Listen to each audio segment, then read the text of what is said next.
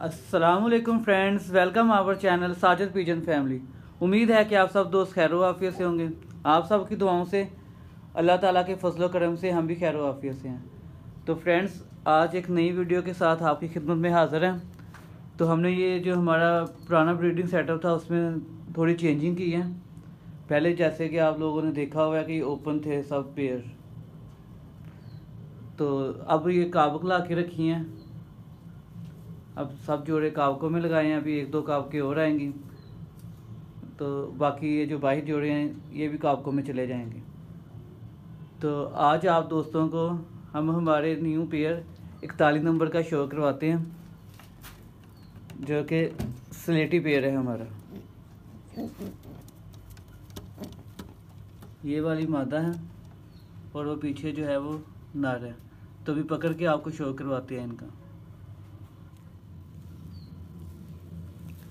तो सबसे पहले आपको स्लेटी नार का शो करवाते हैं। देखिए माशाल्लाह कितना खूबसूरत है।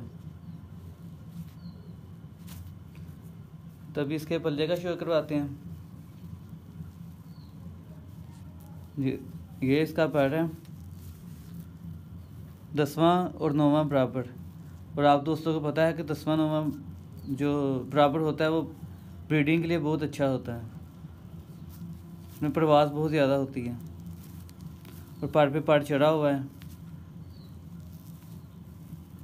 जैसे माशाल्लाह इसका कद है, वैसे ही इसका कुंदा इसके साथ पड़ लगा हुआ है। तो अब ये इसकी दूसरी साइड का पड़ है।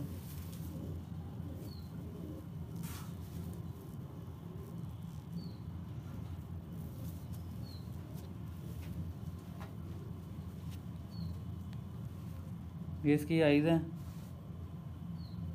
जूम कर। जूम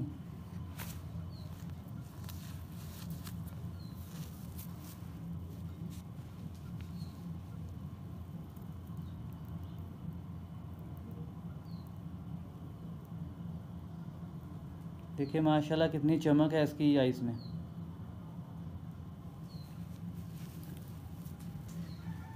ये इसके पंजे हैं। तब इसके साथ की जो फीमेल है, उसका शो करवाते हैं।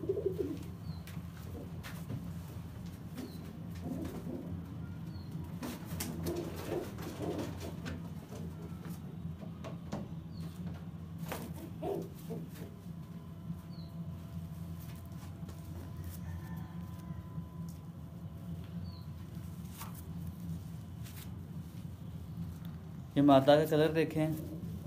माशाल्लाह मादा भी इसके साथ जो लगी है, वो भी हसीन है। इसका सबसे पहले आइस का शो करते हैं।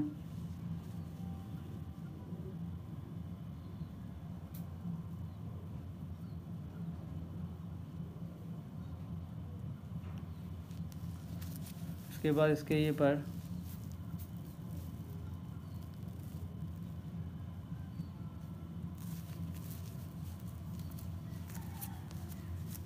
ये दूसरी साइड के पर।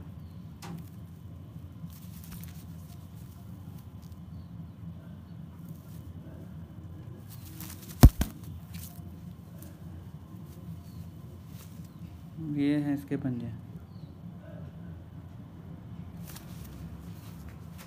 अब इन दोनों पेड़ को जोड़ते हैं।